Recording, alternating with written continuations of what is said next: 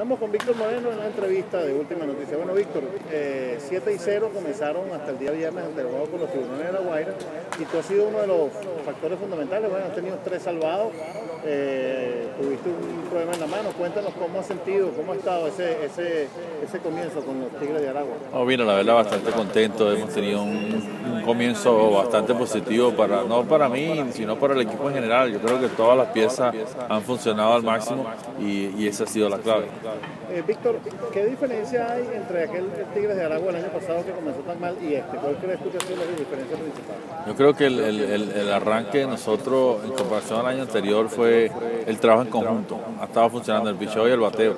El picheo ha mantenido los juegos y el bateo ha reaccionado en el momento que hemos necesitado y esa ha sido la pequeña clave que no tuvimos en comparación a la temporada anterior. ¿Qué pueden esperar los fanáticos de los Tigres de Aragua del equipo cuando ya se ingresen Yangel Bicholarte, Yomil Pinto, Valdo Arcia, Jorge Cortés y los americanos que están en la parada.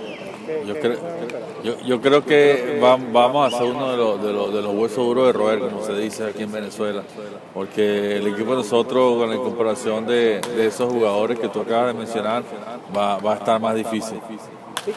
hay un problema grave con los Tigres de Arabia.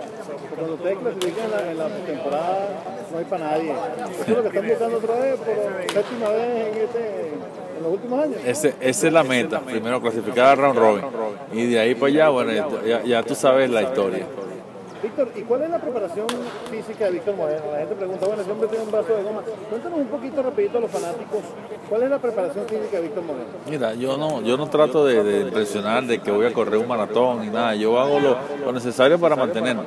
Ya, ya uno ya tiene que hacer lo necesario para mantenerse. Uno tiene, tiene que, depende, depende. De repente yo lanzo dos, tres días seguidos y, y si puedo correr unos 12, 15 minutos. De, de los restos lo que doy son puros sprints cortos o largos para uno mantenerse, solamente mantenerse. Bueno, fue Víctor Moreno para la entrevista de Última Noche.